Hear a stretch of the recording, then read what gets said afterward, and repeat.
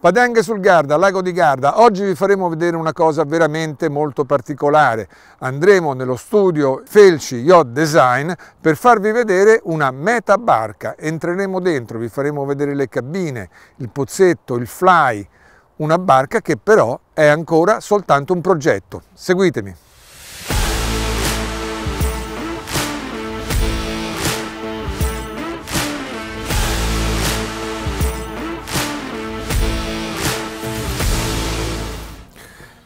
Felci Yacht Design, sicuramente uno degli studi più conosciuti nel nostro paese, ma è anche lo studio italiano più conosciuto al mondo, perché tutte le barche disegnate in quel cantiere per gli ultimi vent'anni le hanno disegnate loro, ma loro non sono soltanto Dufour, anzi loro sono tantissime altre barche, sono specializzati in fast cruiser, ovvero barche molto belle, molto comode, molto piacevoli da vivere, ma allo stesso tempo molto veloci. Gli ultimi due progetti che mi vengono alla memoria sono l'ICE 70, presentato al Salone di Cannes a settembre di quest'anno, e soprattutto il Persico 65, un progetto veramente molto bello per un cantiere che oggi è considerato il più grande e più importante cantiere del mondo.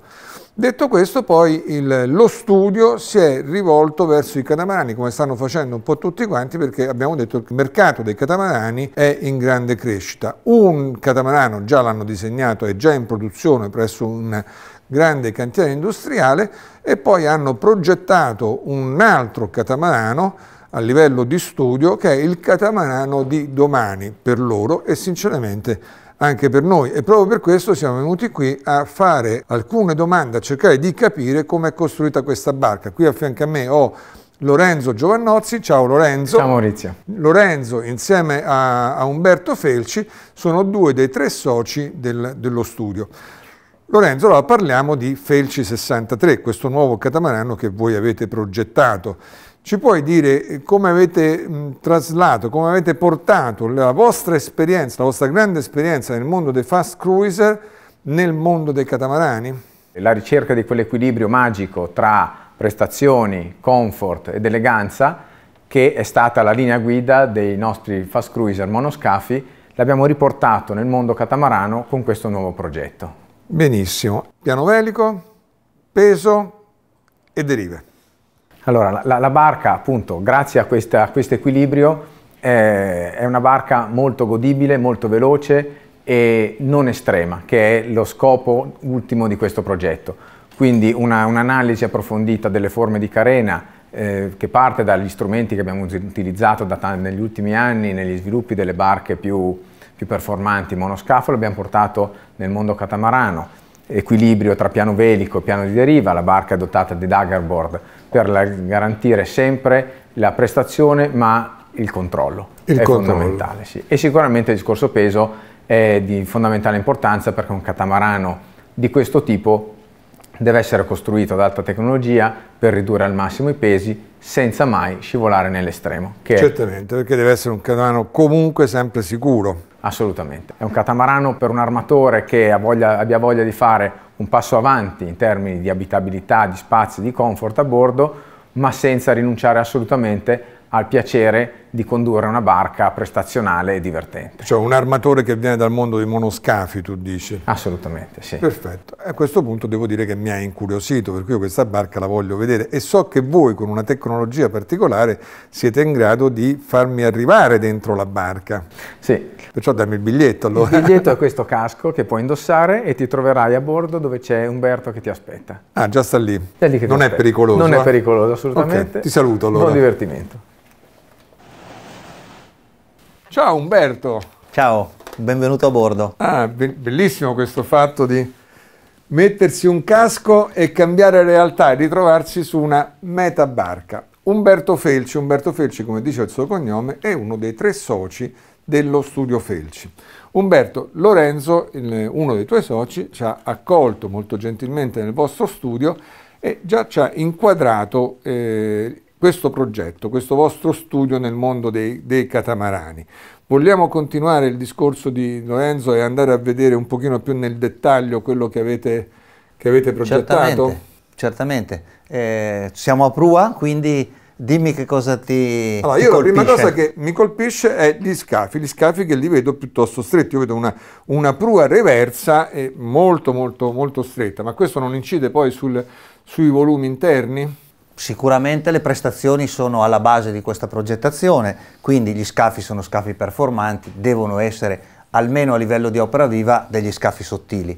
E poi noi abbiamo bisogno di abitabilità per creare quell'equilibrio interno-esterno e quindi abbiamo lavorato sulle forme della carena e nella, nella zona dell'opera morte creando eh, dei redane e degli aumenti di volume in modo da avere degli spazi adeguati all'interno.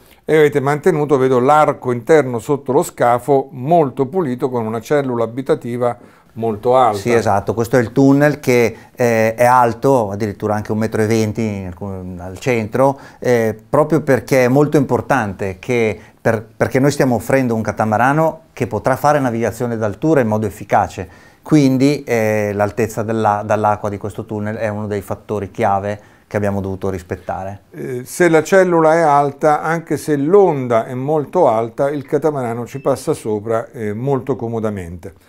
Vogliamo parlare dello stile. L'estetica per voi è sempre stata una cosa fondamentale nelle vostre barche, infatti avete sempre fatto delle barche esteticamente molto belle e anche questo catamarano lo è. Ci vuoi dare le linee guida dello stile? Certo, abbiamo cercato anche questa volta di applicare un po' i canoni estetici che ci portiamo avanti da tempo, cioè il fatto di utilizzare delle curve tese, come a me piace definirle, alle quali poi seguono delle superfici, delle superfici dinamiche, delle superfici mai banali, non sono mai superfici piatte, sono superfici che hanno sempre una curvatura, una tensione interna che è anche legata al dinamismo che deve esprimere la forma. Eh, loro hanno sempre lavorato sulla necessità di rendere anche il catamarano una barca più elegante, più, più filante. Vedo lì il fly. Io vorrei andare a vedere con te il fly eh, per renderci conto come questo è vicino al pozzetto di un monoscafo. Vogliamo Vai. andare? Trasportaci. Trasportaci.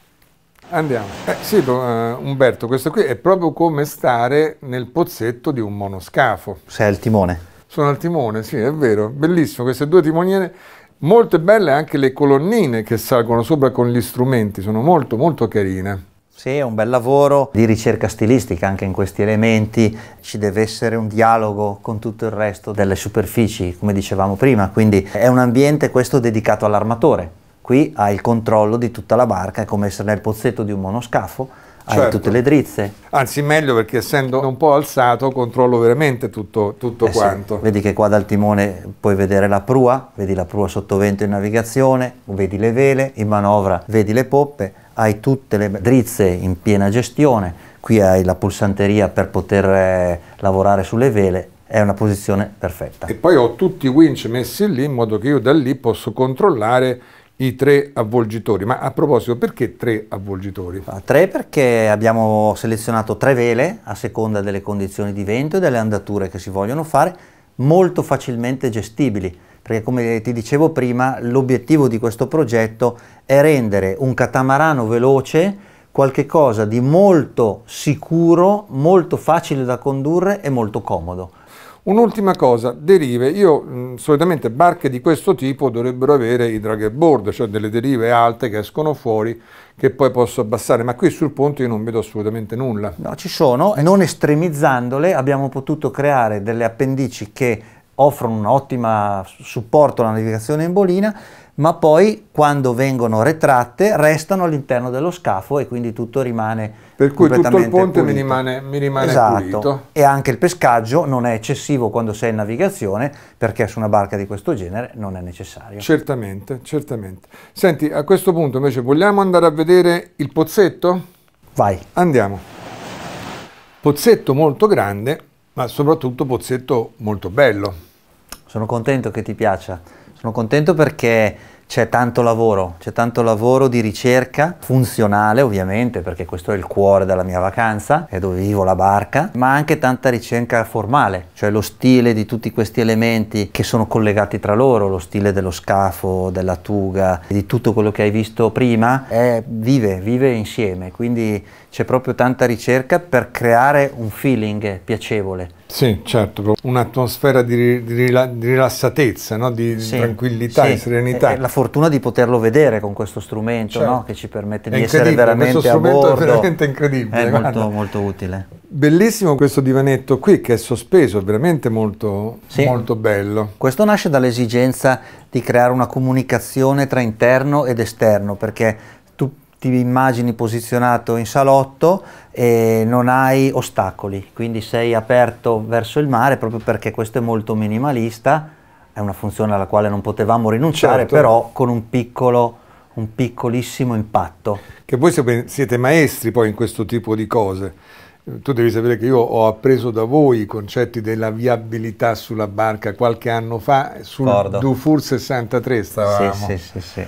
Eh, voi dovete sapere, il, il progettista spende molto tempo proprio nello studiare come le persone si devono muovere sull'imbarcazione per far sì che si possano muovere con estrema semplicità. Infatti se voi vedete questo pezzetto vi rendete conto che qui c'è stato fatto un grande studio di viabilità, vero? Sì. Infatti eh, da poppa a prua ci sono alcuni gradoni molto bassi e molto lunghi che permettono veramente di muoversi facilmente, addirittura di correre. Sì. Poi si può salire sul fly sempre con una scala larga, L'ho appoggiata. Vista, è molto larga. Quindi diciamo che fa parte un po' del discorso generale di questa barca, cioè il creare qualcosa di confortevole, da utilizzare in modo confortevole, fa parte del lusso di una barca di questo genere e fa parte proprio di quella ricerca di controllo, di sicurezza, di, di facilità di gestione che è alla base un po' di tutte le scelte che abbiamo fatto.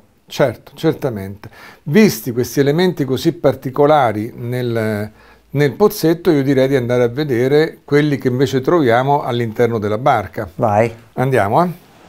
Eh, anche qui vedo tutta una serie di elementi innovativi come abbiamo già visto in Pozzetto. Primo tra tutti questa cucina che come già avete fatto su diversi monoscafi che io ho visto, l'avete portata verso prua. Esatto. Questa proprio nasce dall'esigenza di non avere delle barriere, quindi creare qualche cosa, uno spazio che fosse completamente aperto al mare e quindi questo, questa cucina che arriva a chiudere eh, il salotto con tutta la sua vetrata attorno e che mi permette di vedere fuori direttamente. Sì, certamente. Sempre questo discorso di comunicazione a questo punto visuale, sì, no? Molto importante, mm. molto importante. E, e, poi, e, la vetrata, che la vetrata. è anche la luminosità che mi consente di vivere dentro fuori. La vetrata è molto bella. L'unica cosa che mi lascia così è che non vedo da nessuna sì, parte oblò.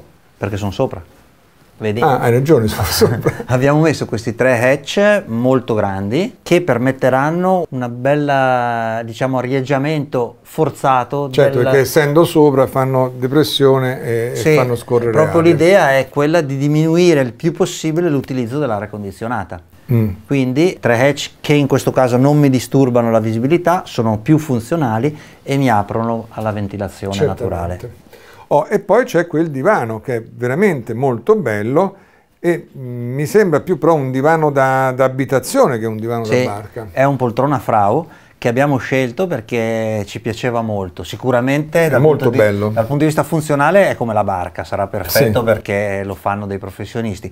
E in più eh, sposa moltissimo il nostro stile, lo stile eh, molto pulito, molto lineare. Abbiamo cercato, come vedi, di togliere tutto quello che è in eccesso. E quello è un divano molto semplice, aereo, sollevato come tutto, come tutto quanto il resto. E quindi direi che si sposava esattamente bene la filosofia di tutto il progetto, cioè di una cosa performante con massimo comfort no? e massima sicurezza. Molto bello, sì. E infatti parlando di sicurezza non posso che dirti eh, che Girati devi guardare, esatto. e andiamo a vedere questo che è la il centro di comando interno sì. praticamente, c'è tutto là dentro. Lì gestisci tutto, tutto quello che abbiamo visto sul flyer ripetuto qui, hai anche la possibilità di controllare il motore, la possibilità con i joystick di gestire il pilota automatico e quindi tu eh, praticamente in caso di cattivo tempo o di cioè, navigazione posso notturna stare qua dentro e controllare completamente sì. l'imbarcazione. Benissimo. A questo punto mi devi togliere una curiosità, io devo scendere giù e vedere se effettivamente giù ci sono i volumi che tu mi hai detto, perché a me gli scafi sembrano veramente strettissimi. Certo, allora proiettati Posso... nello scafo di dritta dove troverai la cabina armatoriale. armatoriale. Andiamo.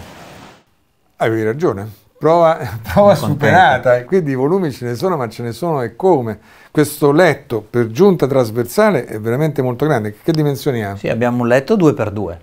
2x2 con king finestra size sullo vero. seno, un vero king size. La sua altezza è il segreto che ci permette di guadagnare spazio laterale, quindi ingrandire ancora di più i volumi dello scafo, ma comunque l'impressione è quella di essere veramente su un catamarano da crociera. Sì, sì, no, anche perché poi la vista va dritta per dritta senza ostacoli, proprio, è- tutto bello largo. E sì, questo è uno scafo, scafo. completamente dedicato all'armatore con il suo mobile office là vicino all'ingresso, quindi Sì. vedi che E la porta giù in fondo è il bagno, chiaramente. Esatto, è la zona dell'antibagno in cui abbiamo un doppio lavello e una grandissima doccia con, eh, trasparente, anche lei con la finestra ovviamente sul Cioè, mare. mentre faccio la doccia posso Sì, mirare fuori. Esatto, e poi dietro un'altra zona separata che è quella invece WC, Del WC. e bidet, un altro molto lavello. ampia, chiusa. E questa cassa di carbonio che cos'è Umberto? Allora, questa cassa è quella dentro la quale corrono le due daggerboard di cui parlavamo prima. Un aspetto interessante dal punto di vista formale è che un effetto idrodinamico che ci interessava, che è quello di generare un po' di lift verso l'alto, Che ve l'ha eh, fatte fare tonde. Esatto, che ce le ha fatte fare una certa curvatura, sposa perfettamente il minore ingombro, vedi che questa cassa segue proprio la Certo. forma dello scafo e per quello abbiamo deciso anche a livello così estetico di lasciarla in carbonio a vista perché è un elemento che ricorda che sei a bordo di un catamarano sportivo, Certo, performante e sicuro. Certamente, gius- giustamente, giustamente. Beh, comunque devo dire, piena soddisfazione, la barca, eh, cioè almeno questa cabina è veramente molto grande e guardando anche la cabina armadio uno non si sarebbe mai aspettato questi volumi all'interno di uno vero, scafo così stretto, proprio assolutamente. Detto questo io andrei a vedere eh, l'altro scafo, le cabine, le cabine ospiti. Proiettati. Vogliamo andare? Proiettiamoci. Beh, altri volumi notevoli.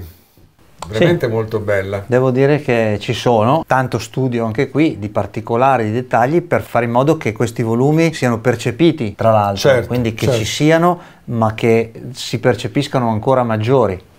Oh, tipo la soluzione del bagno così trasparente che è molto Chiaro, carina. quello ti permette di evitare l'ingombro di tutta la cella doccia, è un, bel, è un bel trucco, poi ci sono anche questi fianchetti scafi scuri che ti danno ampiezza, ti danno profondità e poi la larghezza effettivamente c'è perché se Certo. pensi che questo letto è un Due 2x2, metri per due, quindi eh, certo, non stiamo la parlando di una cosa fasulla, ecco. Molto bello anche questo armadio a tutta, a tutta altezza, un vero e proprio armadio da, da casa. Sì, sì, insomma. a casa due ante con tutti E lì in spazi. fondo a poppa poi io vedo la cabina eh, con i letti separati. Sì, letti separati che si possono muovere e diventare un unico matrimoniale, però lì lo scafo ci ha consentito di, di proporre questa cabina con i due letti che comunque è molto bella nel caso di ospiti eh, che possono dormire separati, ha il suo bagno anche lei, la sua doccia, Certo. è una bellissima cabina molto ampia. Molto bella, veramente molto bella. E con questo abbiamo terminato la nostra visita nella Meta Barca, una, un'avventura veramente particolare questa Umberto. Sì, sono contento che ti sia piaciuto. Se è piaciuto anche a voi fatecelo sapere, dateci il vostro like e con questo io non mi rimane altro che salutarvi e darvi appuntamento al prossimo video con SVN Solo Velanet.